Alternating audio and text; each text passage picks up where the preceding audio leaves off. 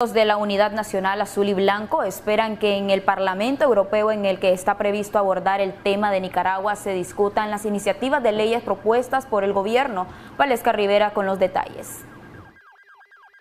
La propuesta que se debatirá en el Parlamento de la Unión Europea sobre Nicaragua debe traer sanciones para el Estado, destacan miembros de la Unidad Nacional Azul y Blanco. Violeta Granera de la UNAP indicó que ellos permanecen en una campaña constante para llevar las denuncias ante organismos internacionales a los que ya le han expuesto las tres iniciativas de leyes que son calificadas como arbitrarias y nefastas, con el objeto de seguir reprimiendo al pueblo. A partir del anuncio de estas iniciativas de ley.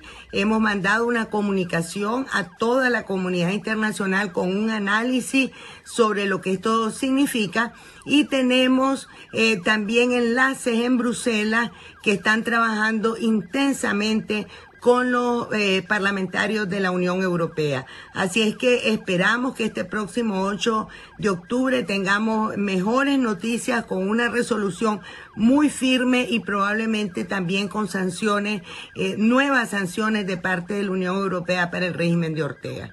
Eurodiputados y otras autoridades han llamado al Estado de Nicaragua a reflexionar sobre dichas iniciativas de ley. El presidente de Estados Unidos, Donald Trump, también mencionó sanciones para el presidente Daniel Ortega. Para Acción 10, Valesca